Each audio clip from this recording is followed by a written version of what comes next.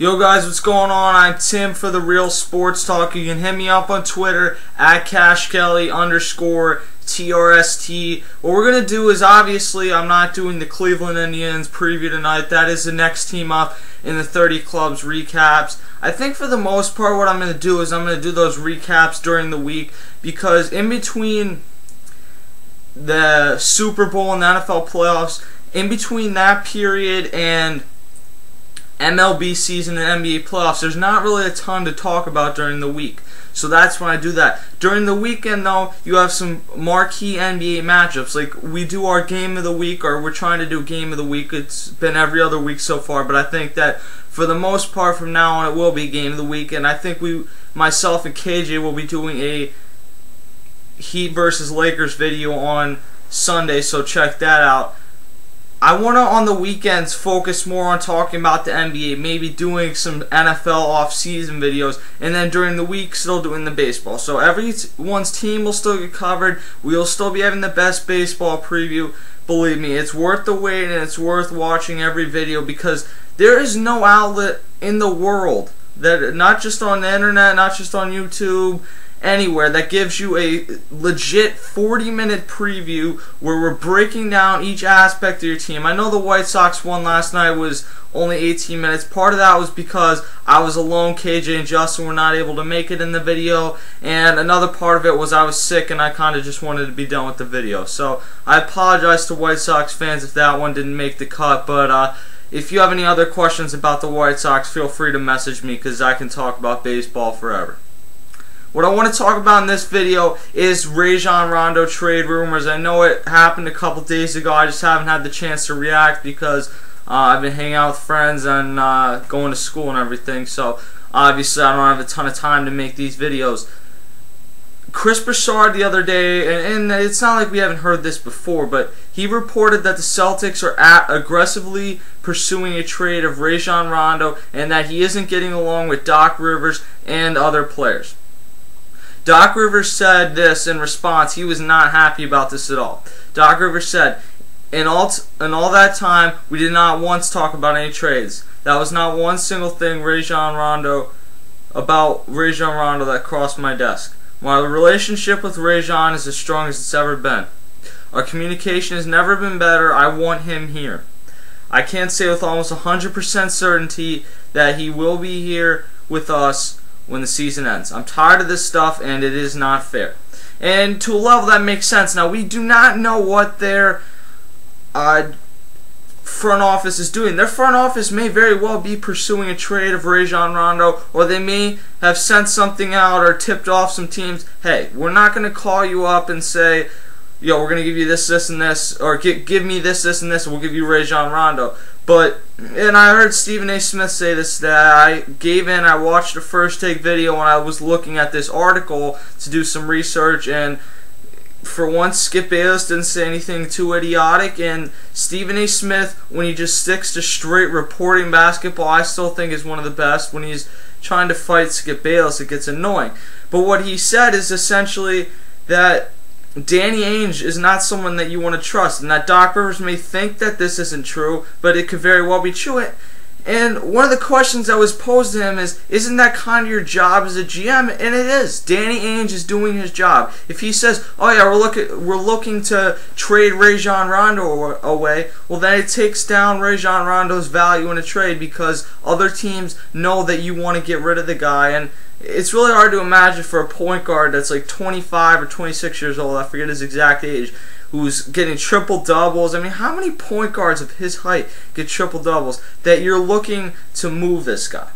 So to say that you're looking to trade him, I guess might not be the way to phrase it, but that is essentially what they're doing. Danny Ainge had this quote. He's our best player and the most important part of our future. There's no way we're actively trying to trade Rondo. That makes no sense, no logical sense. Skip Bayless, I'll give him one one piece of credit here. He said the most important part of this quote is that they're not actively trying to pursue pursue a trade. Not actively. That they could still have done it and they still might do it before the trade deadline.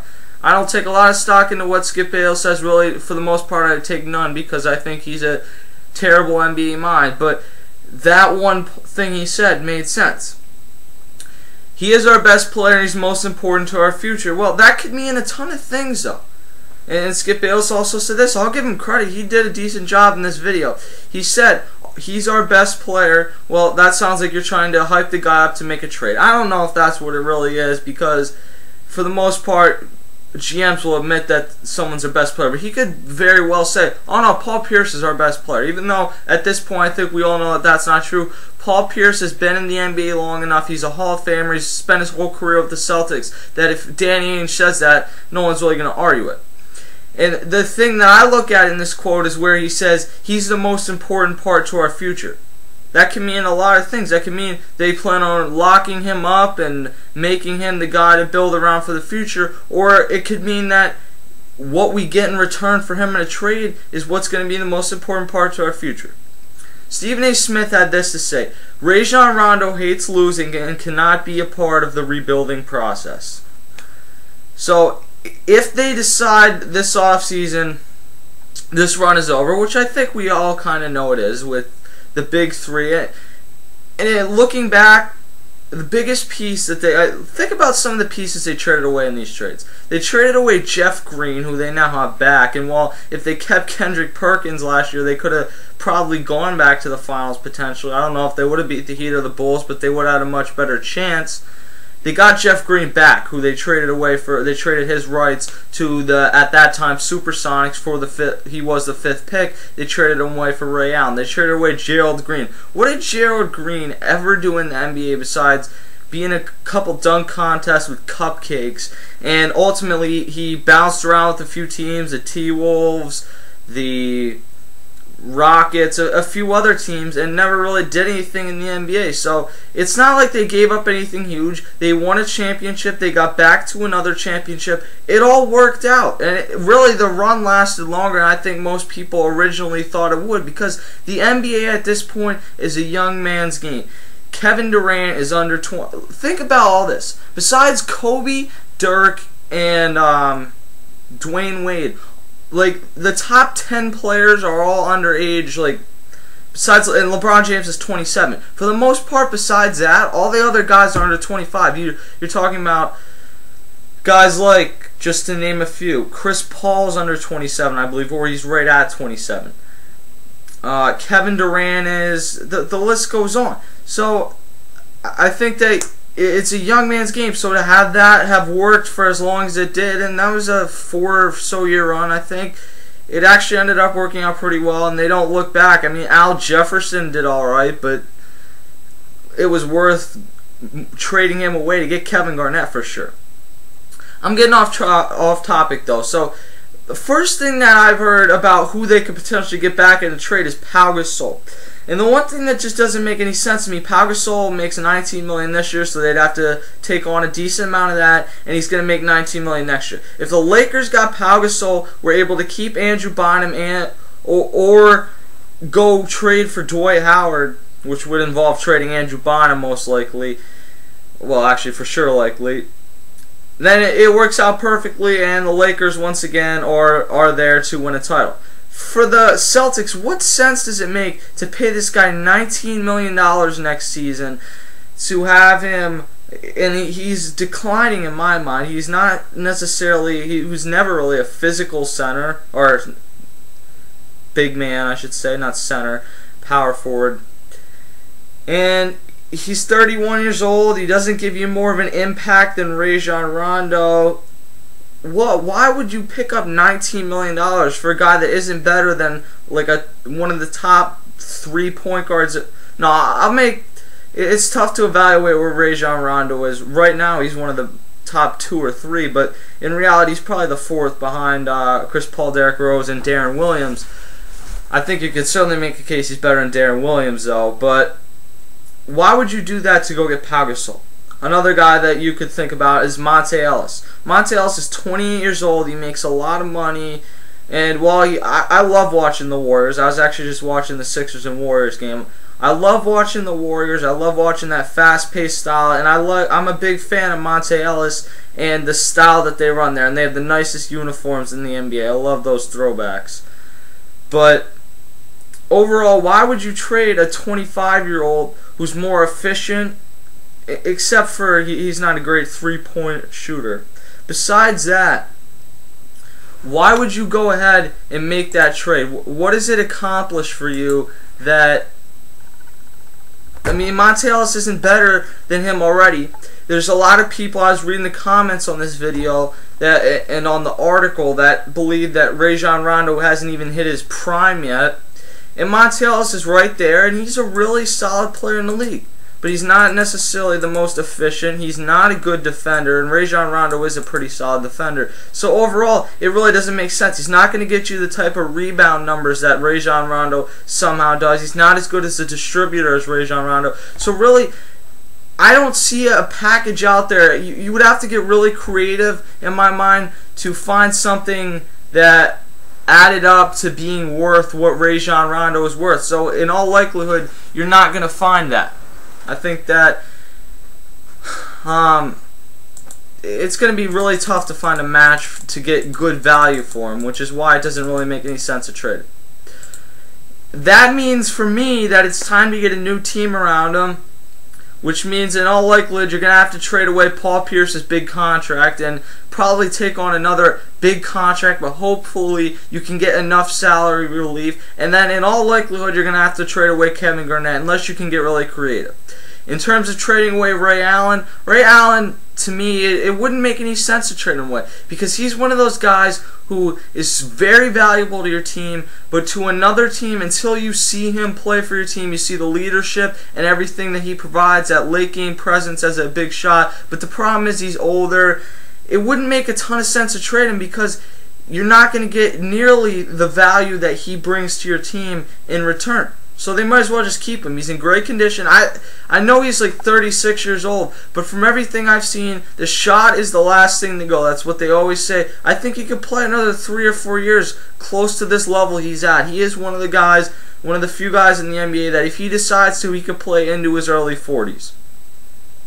If the C's can move some of these guys, and get rid of some of the contracts. Paul Pierce has got to be gone, and I respect the hell out of what Paul Pierce has done. He's a Hall of Famer, no doubt. He's been there through the good and bad times with the Celtics, and you're probably going to have to trade Jermaine O'Neal, who isn't a huge cap hit, but to move him out would make sense for what I'm about to say, and it would still get some cap room out. And that you for sure keep Rajon Rondo and uh, Ray Allen, and you have the potential of keeping Kevin Garnett because at that you could build around a big four, which is what you already have, but you could build another big three with Allen and KG, and you could go and attempt to sign Dwight Howard. If you can't get Dwight Howard, and, and maybe even Dwight Howard would consider this, which would be, even if KJ, KG is not there, play with Rondo and Allen. I don't know if that's real enticing to him because there's a lot of questions about Rondo and how long he's going to be there and also, there's a lot of questions about how, how I mean, at age 36, there's going to be questions about anyone. How long can they keep playing? But I, I think for sure going to Boston would be a better option than going to Brooklyn to go play for the Nets. Because let's be honest, the best thing about going to the Nets, I hear people say, well, you have one of the best point guards in the NBA and you have the best center by far in the NBA. I think the second best player in the NBA personally, in Dwight Howard why why wouldn't they be able to win anything? It's as we saw last year on a Miami Heat team with more depth than what the Nets would potentially have because they would either lose Brook Lopez via free agency or trade him away, and then they would have to trade away all their draft picks, which would be relatively high considering the Nets are already not a very good team. I don't understand. You're not going to win going to the Nets because LeBron and Wade had a pretty solid team around him, and it's much improved this year with guys like Shane Battier, Mike Miller for a full season. They couldn't even get a title, and a lot of that had to do with LeBron James choking. But they weren't able throughout the entire season to maintain a consistent level early on that made me believe that they were going to go to the NBA Finals. I didn't believe that they were for sure going to go to the NBA Finals until after that Sixers series. When they beat my Sixers, I was I was disappointed, but I, it was like I, I knew it was going to happen, so I, I didn't get my hopes up too much. I was happy that the Sixers even made the playoffs after just an atrocious year with Eddie Jordan. But the point is, just going with Deron Williams. I mean, Deron Williams is a hell of a player, But just going with Deron Williams is not going to be enough to win your championship. So the only reason he would be going to Brooklyn would be for the kind of the, the limelight part. And in Brooklyn, it's it's not New York City. I know they're trying to play it out like it is. It's it's a nice place to go to. I've never been there personally, but it's you're not going to get the type of buzz that you would if you went to the New York Knicks, like Jeremy Lin is or uh, Melo and Stat did when they both went there. You're not going to get that type of buzz going to Brooklyn. The idea that oh I get to go play with Jay Z who owns a half of a percent of the team. I don't even know why that is a bargaining point for them. Just going to the Nets overall, the only reason you would be doing that, I guess, is to play in a big market and get your face up on billboards and everything, but winning would not be that. If you go to Boston, it's a big city, there's a lot of pressure on you, but if you go to Boston, then you could join up, you could join forces with a good team, have a better chance at winning. You're still going to get a lot of shoe deals and everything because the Celtics have a big fan base across the nation. I think that that would be the better move overall for Dwight Howard. I don't know if that's what he would overall do, but we'll see. And uh, going to Dallas might not be the greatest option because I think you see that that team is kind of done what they're going to do. They won a championship, and now Jason Kidd is old, probably in his last season. Uh, I know that they've talked about getting Deron Williams, but Lamar Odom hasn't worked out. Tyson Chandler's gone. Brendan Haywood's a nice player, but uh, in all likelihood, he would lose most of his minutes, or potentially not even be back with the team if they maybe they do a sign trade and send him down to Orlando. So I think that maybe going to Boston would be the best option. I don't think it's likely though. If that is not able to happen, then it is time, I think, to blow it up. Uh, for me, I, I think that that would be the best option that you have at that point. The question is with Rajon Rondo is if you were able to get Dwight Howard, is could he handle being that number two guy? Because he's never going to be a bigger face than Dwight Howard because he's not even the best point guard in the NBA. And Dwight Howard's one of the top five players in the NBA. And a, a lot of people's mind, Rajon Rondo's just inside the top five point guards in the NBA. And that's not trying to take away from Rajon Rondo. But I think the point is that we hear that he does not, and Stephen A. Smith also said this, that he does not like when other players get preferential treatment on the team. And Dwight Howard essentially is going to get that because you're going to do whatever you have to do to lure him there. So that would have to be a thing where before he signs there, you say, Rajon, he's going to get special treatment, and you're going to have to deal with it whether you like it or not, and see how he handles that. Or does Rajon Rondo expect the team to just try and get a bunch of really good role players and everything that fits how the team concept worked and just try and win a championship like that. I hate to break it to you, but at this stage in the NBA, you cannot build your team singularly around one point guard with the exception of Derrick Rose because Derrick Rose is Derrick Rose and expect to win a championship. And I don't know without getting another superstar if the Bulls really can win a championship. You got to have a two or a, a, shooting guard or a small forward. I think is what at this point is the best thing to build your team around. We see it with Kobe Bryant. We see it with LeBron James. Those are the best type of players to build your team around, and then go get a second superstar for them, like Dwyane Wade, like essentially what Pau Gasol was when the Lakers originally acquired him, and they ended up winning the championship. So I don't think that if you can, I don't think Rajon Rondo would understand that if you only get one other good player, that you're gonna just, you're not gonna be good enough to win a title like that. You have to, right now, the way the NBA is, you have to have two superstars and you gotta have depth. And that's what's making the Miami Heat so dangerous this year, and that's what is making the Oklahoma City Thunder so dangerous this year, is they meet both those criteria. And in the Heat's case, they might not have three superstars, depending on your opinion of Chris Bosh, but he's played like a third superstar this year, so that's that. Overall, I think Rajon Rondo will get traded, and I think that that's a shame because if the real reason that he isn't getting traded is because he's not getting along with some of the players, like we've heard reports out of Boston, well, then, okay half those players are going to be gone in a couple years. And if he's not getting along with Doc Rivers, we've heard that Doc Rivers is probably in his last year. he's been saying that for a couple seasons now. I don't know if he ever is really going to retire or whatever. I know his son's coming to the NBA, big star over with uh, Duke now, Austin Rivers. So maybe he wants to stick around and try and get him. I, I, I don't know what the deal is. I think Rajon Rondo is gone after the. I don't know when, whether it be before this trade deadline or after the season. But uh, I think overall that Rajon Rondo is going to go somewhere, and whether I, I think that it might make most the most sense for them to just wait for this offseason because maybe if Deron Williams decides to go somewhere else, but the mat, the Magic or the Magic decide we still can have a chance at Dwight Howard if we get him another superstar. Jameer Nelson's a nice point guard. Um, he had one really nice season. He hasn't been quite the same since because of injuries and other things maybe if they decide if we can go get Rondo, maybe we can convince him to stay, or maybe the Mavericks even decide to do that if Jason Kidd retires. I don't know. It's gonna be interesting to see where both Rajon Rondo and Dwight Howard go. Overall, I'm Tim. Hit me up on Twitter. I'll catch you guys later.